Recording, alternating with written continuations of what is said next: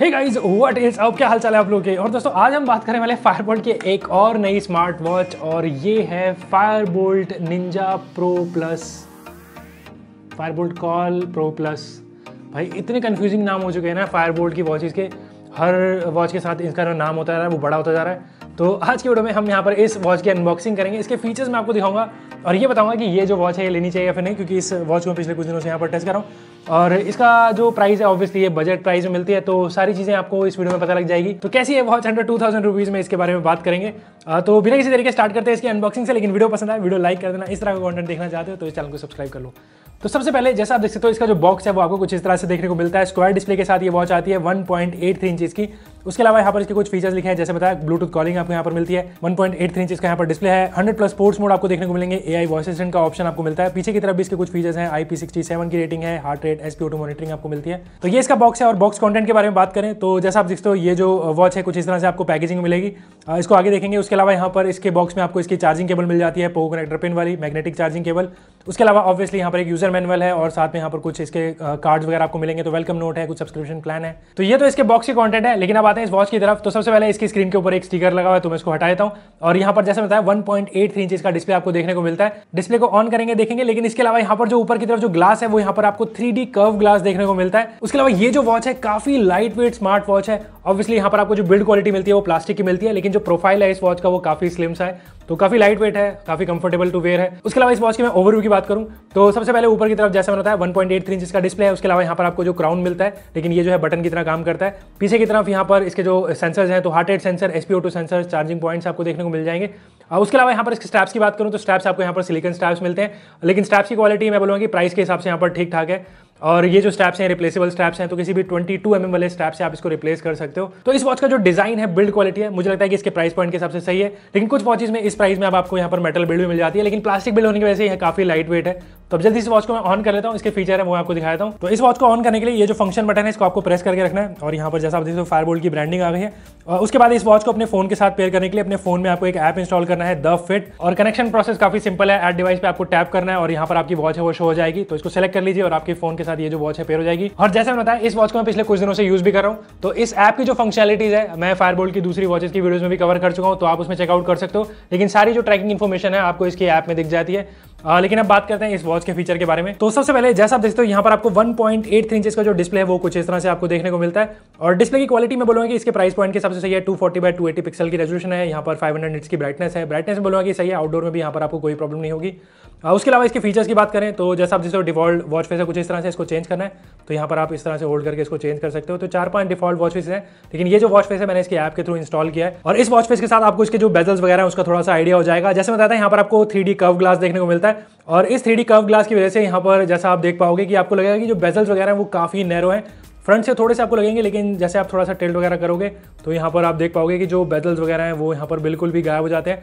और थोड़ा बहुत इल्यूजन रहता है यहाँ पर बेजल लेस डिस्प्ले का, लेकिन यहाँ पर नीचे की तरफ़ हल्का सा आपको चिन्ह देखने को मिलता है। बट डिस्प्ले है यहाँ पर 1.83 इंचेस का और कर्व ग्लास के साथ काफ़ी अच्छा लग रहा है। कलर्स वगैरह भी बोलेंगे काफ़ी अच्छे खासे हैं इसके।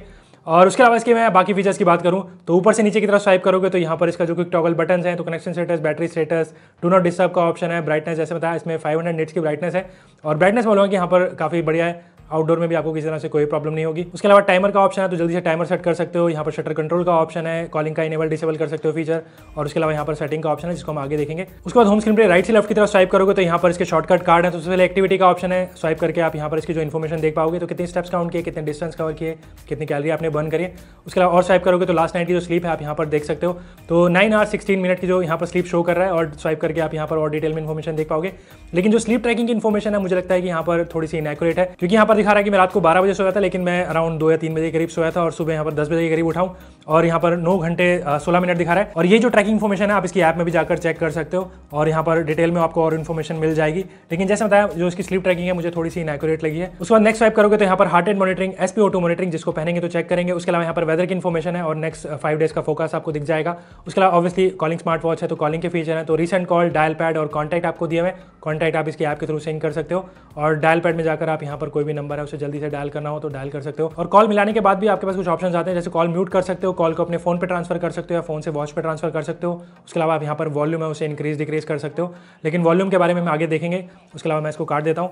और उसके बाद यहाँ पर नेक्स्ट स्वाइप करोगे तो यहाँ पर आपके जो म्यूज़िक कंट्रोल के ऑप्शन है तो नेक्स्ट पे जा सकते हो प्ले पॉज कर सकते हो वॉल्यूम इंक्रीज डिक्रीज कर सकते हो।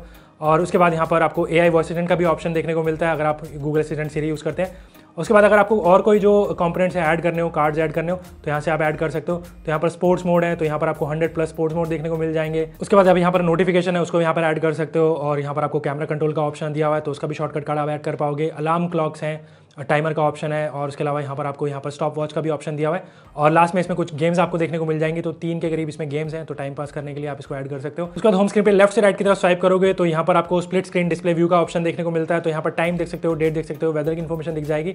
और लास्ट जो आपने रिसेंट ऐप यहाँ पर यूज़ करी होंगे तो उसके कुछ आइकन है। होम स्क्रीन में नीचे से ऊपर की तरफ़ स्वाइप करोगे तो इस वॉच का जो मेन्यू है, वो आपको इस तरह से देखने को मिल जाएगा हनी ग्रिड स्टाइल में। आ, लेकिन इस मेन्यू को अगर आपको चेंज करना है तो सेटिंग में जाकर यहाँ पर आपको डिस्प्ले में जाना होगा और यहाँ पर मेन्यू व्यू जाकर आप लिस्ट स्टाइल कर सकते हो। तो जब मेन्यू है वो कुछ इस तरह से हो गया। तो सबसे पहले इस मेन्यू में आपको एक्टिविटी का ऑप्शन दिया है। Phone call sleep tracking heart rate S sports mode weather message camera timer relax basically yoga वगैरह के लिए आप यहाँ पर ब्रीथ कंट्रोल कर सकते हो। अलार्म का ऑप्शन है म्यूज़िक प्लेयर है स्टॉप वॉच फाइन फ़ोन का ऑप्शन है गेम का ऑप्शन आपको मिलता है और अदर में जाकर डिस्प्ले की सेटिंग्स हैं, जैसे आप यहाँ पर देख सकते हो ब्राइटनेस चेंज कर सकते हो। ऑटो स्लीप का ऑप्शन है वॉच फेसेस आप यहाँ से भी चेंज कर सकते हो। डो नॉट डिस्टर्ब वाइब्रेशन है, उसको इनेबल डिसेबल कर सकते हो। Low power mode phone call phone reset basically history आप यहाँ से रीसेट कर पाओगे। और सिस्टम में जाएँगे तो रीसेट पावर ऑफ़ और रीस्टार्ट का ऑप्शन है। और लास्ट में अबाउट का ऑप्शन है। तो दोस्तों, ये तो बात हुई Fire Boltt Ninja Call Pro Plus के फीचर्स के बारे में। काफ़ी बड़ा सा नाम है तो थोड़ा सा याद करना मुश्किल हो जाता है। लेकिन इसके जो फीचर है ना, काफ़ी हद तक सिमिलर है, जो आपको दूसरी स्मार्ट वॉचेस मिल जाते हैं फायर बोल्ड की। इवन कुछ दिन पहले मैंने फायर बोल्ट की रिंग प्रो रिंग प्लस करके जो वॉच है उसका रिव्यू किया था। और उसके फीचर और इस वॉच के फीचर डिट्टो एग्जैक्टली सेम है। इवन जो इसकी जो स्क्रीन है ना, यहाँ पर थ्री डी कर्व ग्लास की वजह से वो भी आपको इसी तरह से देखने को मिलती है उस वॉच में। लेकिन उसकी जो लुक है ना थोड़ी थोड़ी एप्पल वॉच जैसी थी। तो अगर आपको एप्पल वॉच जैसी लुक की कोई वॉच चाहिए तो आप उसको ले सकते हो। लेकिन उसका प्राइस अब थोड़ा सा बढ़ गया है। और ये जो वॉच है, सत्रह सौ निन्यानवे रुपये उसके हिसाब से मुझे इसकी लुक या फिर इसके जो फीचर्स वगैरह हैं, वो काफ़ी बढ़िया लगे। लेकिन अब जल्दी से इस वॉच को मैं पहन लेता हूँ। इसके जो heart rate sensor S P sensor और कॉलिंग का जो फीचर मिलता है, उसको चेक कर लेते हैं कि वो कैसे काम कर है। और वॉच पहनने के बाद इस वॉच की जो इन हैंड लुक रहती है, वो कुछ इस तरह से रहती है। और जैसा आप देख सकते हो, यहाँ पर जो डिस्प्ले है, वो काफ़ी बड़ा सा है और यहाँ पर जो बेजल्स वगैरह है, वो काफ़ी मिनिमल से हैं। तो दिखने में जो वॉच है, काफ़ी सही लग रही है। और जैसे बताया, काफ़ी लाइट वेट स्मार्ट वॉच है तो पहनने में काफ़ी कंफर्टेबल भी है। स्ट्रैप्स भी बोलूँगा कि यहाँ पर ठीक ठाक है। तो रात को अगर आप पहनते हो स्लीप ट्रैकिंग के लिए तो आप इसको पहन सकते हो। लेकिन जैसे बताया स्लीप ट्रैकिंग मुझे इस वॉच की ज़्यादा एक्यूरेट नहीं लगी। उसके अलावा इसका जो हार्ट रेट है एस पी उसको यहाँ पर चेक कर लेते हैं। तो सबसे पहले हार्ट रेट है, उसको यहाँ पर मेजर करेंगे। और हार्ट रेट के लिए मैं इसको यहाँ पर एप्पल वॉच से कंपेयर कर लेता हूँ और देखते हैं यहाँ पर जो रीडिंग्स है, आपको कितनी क्लोज देखने को मिलेंगी। तो जैसा आप देखते हो फायरबोल्ट की जो स्मार्ट वॉच है, उसमें यहाँ पर दिखा रहा है 78 बीट पर मिनट और एप्पल वॉच में अब यहाँ पर दिखा रहा है 80 बीट्स पर मिनट तो देख सकते हो काफ़ी हद तक आपको यहाँ पर क्लोज सी रीडिंग्स देखने को मिल रही हैं। और उसके अलावा इसका जो एस पी मॉनिटरिंग है, उसको भी यहाँ पर हम चेक कर लेते हैं। और इसके लिए भी मैं इसको यहाँ पर एप्पल वॉच से कंपेयर कर लेता हूँ। तो देखते हैं यहाँ पर जो कितनी आपको क्लोज रीडिंग्स देखने को मिलती हैं।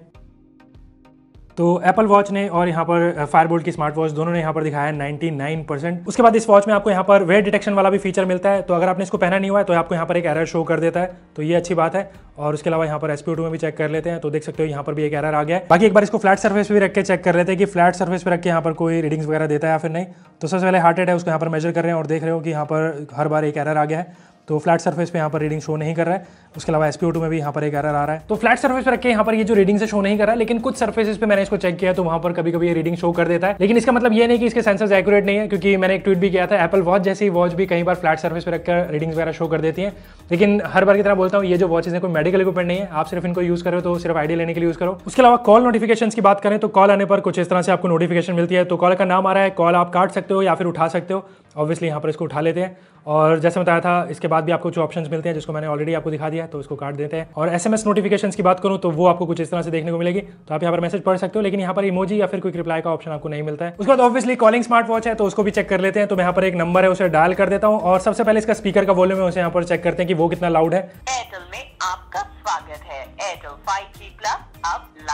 तो जैसा आप सुन सकते हो यहाँ पर स्पीकर का जो वॉल्यूम है वो काफ़ी डिसेंट है काफ़ी लाउड है और इंडोर आउटडोर में आपको किसी तरह से कोई प्रॉब्लम नहीं होगी। उसके अलावा माइक की क्वालिटी की बात करूँ तो वो मैं आपको सुनाता हूँ। तो अभी जो आवाज़ आप सुन रहे हो वो मेरे स्कॉलर माइक से सुन रहे हो। जैसा आप सुन सकते हो तो इसका जो माइक है मैं स्विच कर देता हूँ।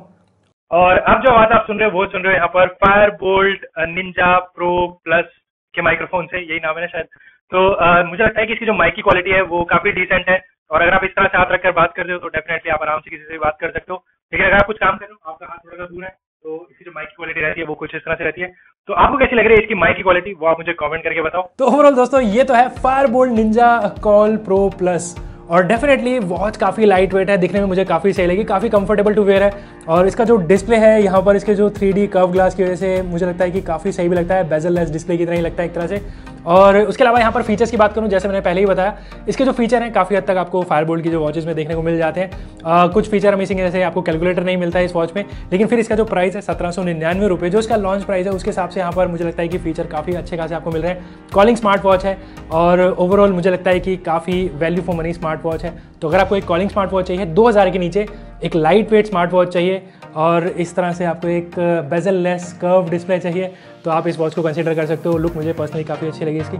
तो आपको कैसी लगी ये? Fire Boltt Ninja Call Pro Plus ये आप मुझे कमेंट करके बताओ। अगर आपको ये वीडियो पसंद आए वीडियो लाइक कर देना। इस तरह का कंटेंट देखना चाहते हो तो इस चैनल को सब्सक्राइब करो। तो मिलते हैं इसी तरह की एक और वीडियो के साथ। और मैं अपना